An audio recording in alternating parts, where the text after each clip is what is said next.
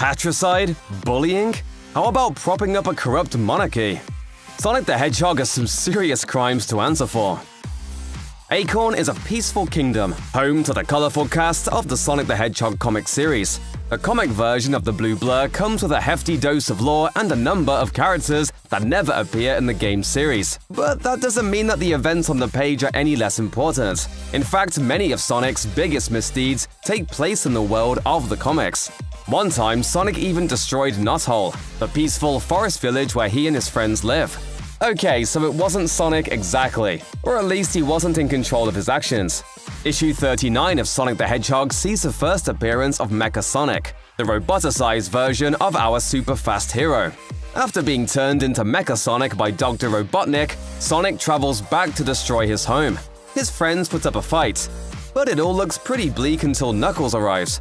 In a special issue, Sonic and Knuckle Mecha Madness, Knuckles also becomes roboticized to face off against Mecha Sonic. Unfortunately, his plan doesn't work, and Mecha Sonic really messes up Knothole Village. The Sword of the Acorns is one of the more fantastical elements introduced in the Sonic the Hedgehog comics. While Sonic is typically an honorable wielder of the sword, there was one specific instance where he let his friends and the kingdom down. In Sonic the Hedgehog issue 89, King Max is rushed into emergency surgery, which ultimately left him paralyzed.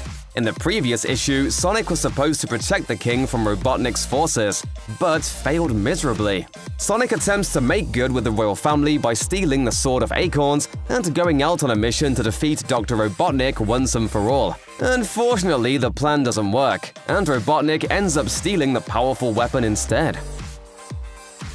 Archie's Sonic the Hedgehog comics can be pretty dark.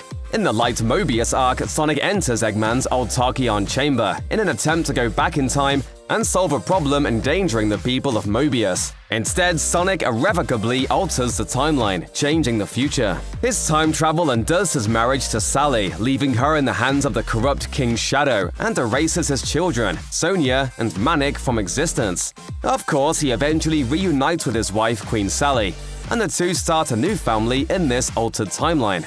So he gets another chance with a brand new version of the children he wiped off the face of the earth. Yay? Okay, fine, we don't see any bodies on screen, but the electromagnetic pulse caused by Sonic in the live-action film wipes out the power of an entire city. There's no way it doesn't have consequences. Movie nights ruined, interrupted chili dog cooking, and yes, probably more than a few deaths. Several online users have speculated about the death toll of the Blue Blur's blackout, with one industrious Reddit user calculating approximately how many babies Sonic's thoughtless actions might have killed. That's pretty grim. What is going on? Oh gosh, I think the power's out. You know, Durr, the lights are out. The, the whole town is freaking out. Oh, Tails, dear sweet Tails, you don't deserve anything this hedgehog has done to you.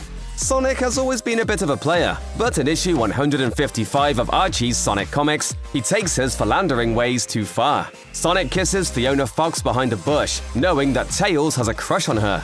Tails catches him in the act and is rightfully devastated at this massive betrayal by someone he thought was a friend.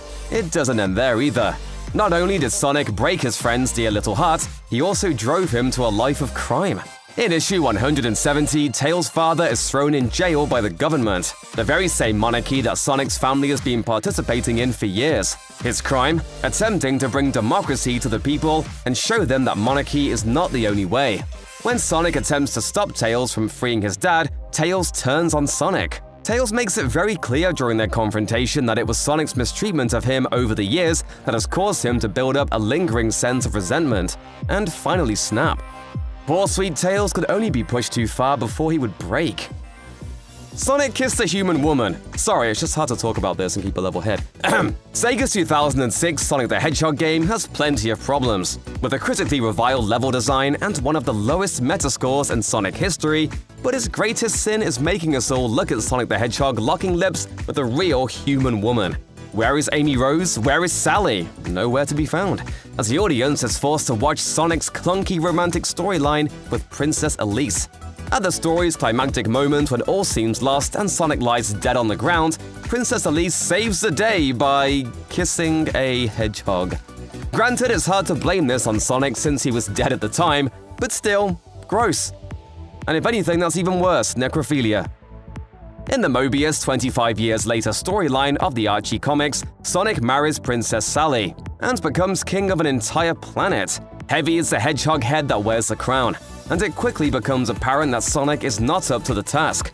Does he use his newfound authority to provide the people with unlimited chili dogs, or you know, healthcare?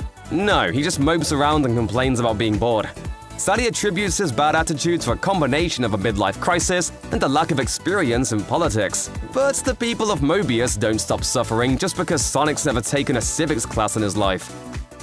Sure, it was an alternate universe version of his father, but that doesn't make it okay. In the Sonic Super Special Issue 12 story Zone Wars Giant Robotno, Sonic is teleported to an alternate reality, or zone, in order to help combat a serious threat. In this zone, everything Sonic knows to be true is turned on its head. Here, Sonic partners with an alternate good version of Dr. Robotnik, named Dr. J. Kintobor in order to help save the people of Kintopolis. The people are under siege by mutated versions of Sonic's friends and family, created when the city attempted to harness the power of a split Chaos Emerald and tested it on the population of Knothole Island. Armed with a massive mech called the Giant Robotno, Sonic must take out each of his loved ones. While battling this zone's version of his father, Jules the Hedgehog, Sonic rips the Chaos Emerald out of his chest and renders his own dad a lifeless husk. In this case, it's less about the terrible thing that Sonic did and more about the good thing he chooses not to do. According to the 2020 live-action film, a single one of Sonic's quills possesses nearly limitless energy. When Dr. Robotnik analyzes one of the quills, he finds enough electrical energy to power a hovercraft and match Sonic's formerly unbeatable racing speed. The average hedgehog is between 3,000 and 5,000 quills. And just one was enough for all of that. Sonic can outrun any potential threat, so he's not exactly using his quills to protect himself from predators. Why can't he spare a few hundred quills to power a handful of major cities, or even the entire world? Every day, Sonic wakes up with a solution to clean, sustainable energy growing out of his head, but chooses not to share it. Sonic and Amy Rose have had an on and off romance since she was first introduced to the series. Amy decided she was Sonic's girlfriend and then began pursuing a relationship with him whether he liked it or not. In one Sonic X episode, A Date to Forget, Sonic potentially damages their relationship by standing up Amy. After making plans with both Amy and Sam Speed, Sonic flakes out on both of them. Amy instead goes on a date with Sam Speed, which leads Amy to finally understand that Sonic helps others with his abilities, and that running fast is, well, fun. It all worked out in the end, but it's one of Sonic's bigger missteps with poor old Amy Rose. Sonic, you do care about me! In the live-action film, Longclaw the Owl is Sonic's primary guardian on his home planet. She is the last of her kind, a noble race of owl warriors who protect the world from danger. She taught Sonic everything he knows. When a gang of echidnas chase Sonic down in an attempt to steal his power, Longclaw gives him a bag of his iconic rings, which he can use to travel between worlds. As she sends him to Earth, she tells Sonic to never stop running, and stays behind to fight the echidnas. Then, once he gets to Earth, Sonic immediately stops running. He stays in the first place he lands and remains there for 10 years. If he was going to immediately disobey Longclaw's instructions, he could have used one of those rings to go back for the only family he's ever known. But Sonic never goes back for Longclaw. He can't even honor her last request. Sonic spends the majority of his 2020 film directly and indirectly causing millions of dollars in property damage. Not even counting the massive power outage he triggers, he's responsible for car wrecks, destroyed buildings, and blocks and blocks of decimated city streets. His chase battle with Dr. Robotnik leaves a trail of destruction in his wake through multiple cities. He should be sued by Green Hills, not shielded from all responsibility with a government cover-up. Sure, it makes for an entertaining movie, but think of the casualties. Their infrastructure is likely permanently damaged, all because this wisecracking rodent had to get himself into hijinks. Not only that, but he gets an innocent man labeled a domestic terrorist by pulling him into the crossfire. Sure, Tom is eventually cleared of that accusation, but false news reports don't just disappear from the public consciousness. Tom is likely going to be followed by the consequences of Sonic's carelessness for the rest of his life. In some ways, the short-lived animated TV series Sonic Underground felt like a fanfiction fever dream. It featured Sonic along with his brother and sister as they journeyed to find their long-lost mother, the Queen. The trio have magical amulets that allow them to transform into various musical instruments, and they also use musical instruments as weapons. Considering the strange premise of the show, it makes perfect sense that some wild things happened. Once Sonic and his siblings even took the joy of music from an entire planet. In the episode Six is a Crowd, Sonic, Manic, and Sonia went to an alternate dimension where the three Hedgehog siblings were bad guys, and Dr. Robotnik was a celebrated hero. In that universe, a corrupt Sonic ruled over the land with an iron paw, acting so evil that he even took away the planet's ability to create music. The good triplets eventually cured the world's ills with a song. But that doesn't change the fact that somewhere there's a version of Sonic who wants to end the music forever. Is this maybe the worst thing Sonic has ever done? In the 2020 live-action film, Sonic has the unmitigated gall to fart up a perfectly good hotel room with chili dog gas and then laugh about it. Oh, that's awful. What did you eat? I think it's called a chili dog? Right to the face of a man whose life he uprooted and whose sense of reality he changed forever. Not only is it a party foul and a breach of hotel room etiquette, it's practically chemical warfare.